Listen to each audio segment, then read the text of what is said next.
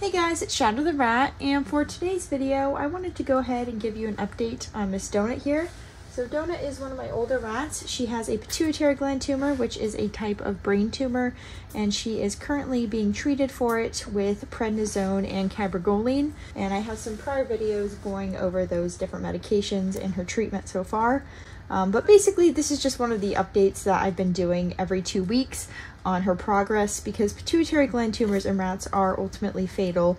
Uh, and I've never had a rat respond as well to medication as Donut has, although I have talked to many people who have had rats get months and months back with these medications, uh, even after having pretty severe symptoms when they first started, which Donut had. So anyways, Donut has been on treatment for her pituitary gland tumor for, I want to say, 13 weeks now, so a little over three months and she is doing fantastic. You really can't tell that she has anything going on unless you see me medicating her. And medicating her just takes like 30 seconds daily. It's really not a big deal. So overall, she's just doing great. Uh, she has no problems in any regard. She can eat solid food.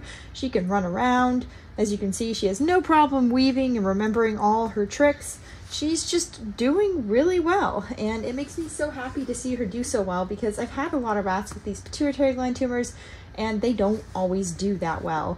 Uh, and so it's just really nice to see one that has just continued living a quality life with these medications.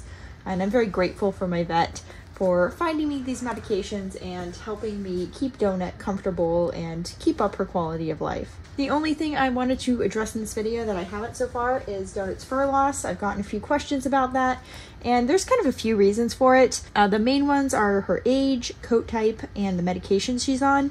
As far as age and coat type goes, Donut's coat type has always kind of been unknown. She's either a Velveteen or Poor Rex, and those coat types can start to bald with age, especially Rex's. Donut is an old rat. She's over two years old at this point, actually two years and two months. So she's not exactly on the young side, and that's not stopping her from doing anything, but it does mean that she is a little bit patchier and has a little thinner fur, uh, which is just kind of part of aging. And then on top of that, medication-wise, she is on a long-term steroid prednisone, and that can have a side effect of fur loss as well. Uh, so that's probably also contributing, especially because her fur is a lot thinner than her sister, who has the exact same fur type and is, of course, the same age. Anyways, I just wanted to address that real quick because I've gotten a few questions about Donut's fur. Uh, but that's pretty much it for this video. Honestly, there's not too much to report, and I am super glad to see Donut continuing to do so well, and hopefully that will just be how she is for a good while. So yeah, I will see you guys later, and I hope you enjoyed seeing Miss Donut here. Bye!